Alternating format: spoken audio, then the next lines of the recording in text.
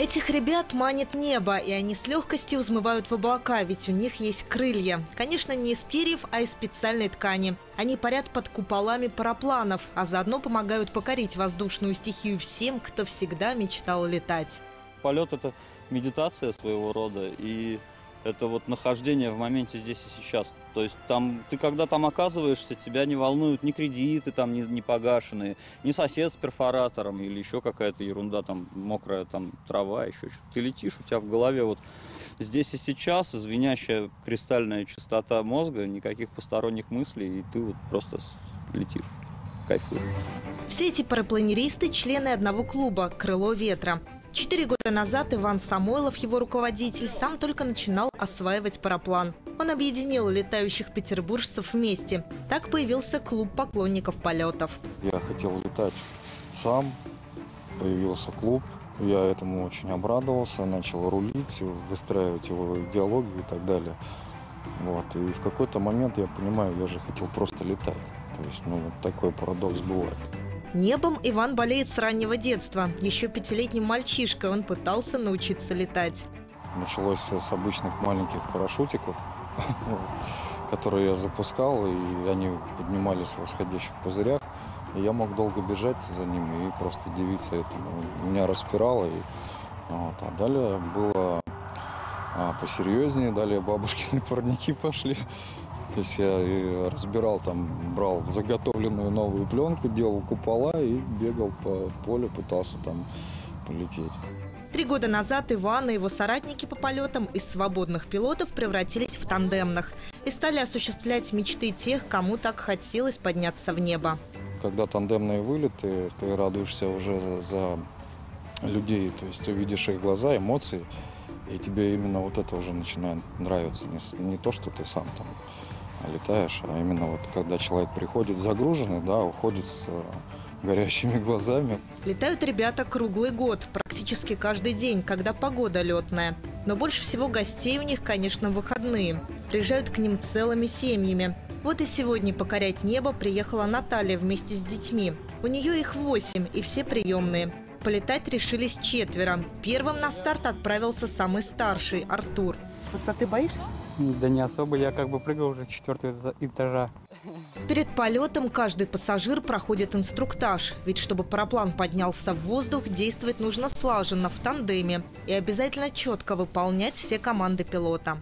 Даже если мы в воздухе окажемся, все равно продолжаем бежать, потому что бывает от земли отрывает и потом обратно просаживает. Если в этот момент не бежать, то мы падаем на попу и косячим старт. Угу. Путаемся в стропах, катаемся по мокрой траве. На самом деле все не так сложно, но от волнения у многих пассажиров все путается в голове. Вот и Лиза нервничает не на шутку. Сегодня она решилась преодолеть свой страх высоты. Страшно, страшно. Так, все Никто в обморок не падал? Да нет. Я беру первый. Конечно, бояться нечего. Парапланами управляют опытные пилоты. У каждого из них за плечами по несколько тысяч часов в воздухе. Они готовы к любым ситуациям и самым сложным погодным условиям. Когда я влетела, это было очень страшно. Я орала во все горло. Но потом я поняла, что я еще хочу, я хочу добавки. Но самое страшное, это вот когда отцепляют, и ты понимаешь, что тебя, в принципе, никто не контролирует, и тебе страшно-страшно. И самое клевое, это когда есть собеседник, с которым можно поговорить, он поддерживает, просто реально поддерживает. Чтобы прокатить счастливчика под облаками, работает целая команда. На равнине пилоту при всем желании самостоятельно не подняться в воздух. Поэтому его затягивают на лебедке. Для этого в тандеме работают два оператора – один регулирует параплан на месте старта, второй в километре от парадрома. Именно от этих людей целиком и полностью зависит подъем крыла в небо.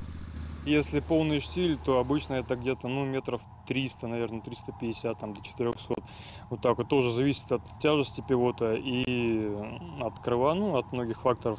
Если ветер встречный идет вот такой вот, как сейчас, то некоторые сольные пилоты, особенно если термичка идет, термичка это когда теплый воздух поднимается от земли в небо, и пилоты некоторые до 800 метров взлетают.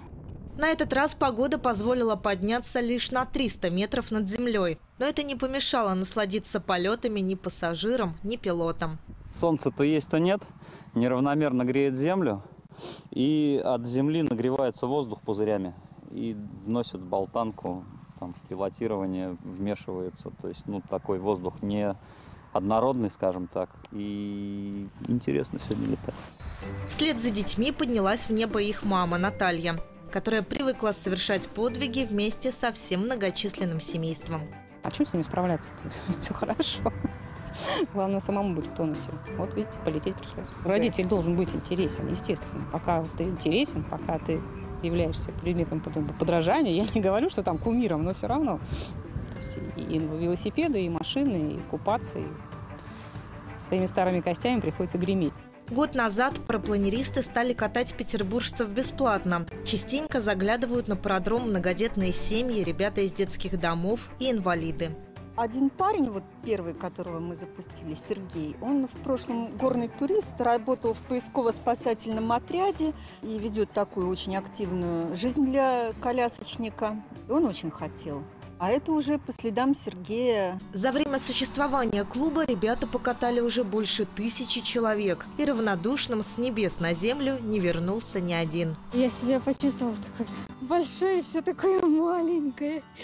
Свободное почувствовала. Конечно, когда выдается такая возможность, парят поклонники воздушной стихии под облаками и в свое удовольствие.